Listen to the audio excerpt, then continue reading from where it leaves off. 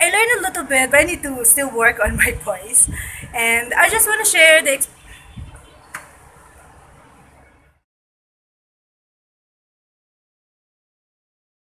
Hi guys, we just came from the church and um, I just want to share to you our when I was in Thailand, I was a member of a choir.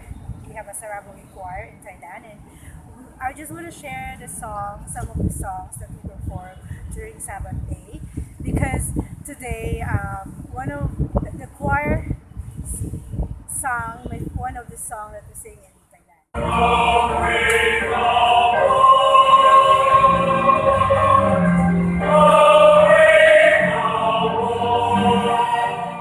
as a continuation, the reason I want to share this video because I will start to share um, some of my experience when I was in Thailand.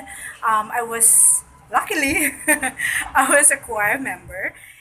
I learned a little bit, but I need to still work on my voice, and I just want to share the ex- the experience I had there.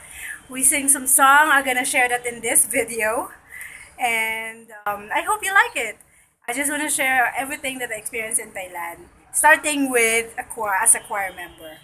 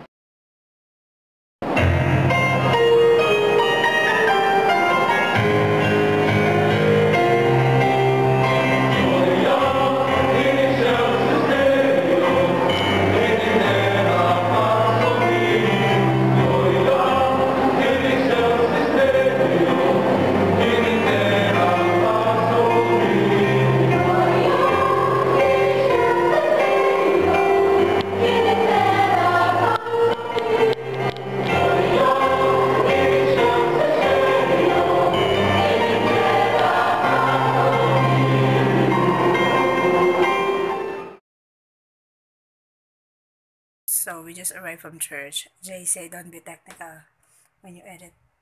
That's him. I'll add this on the video. Since you got so much energy, turn the AC on. Yes, sir!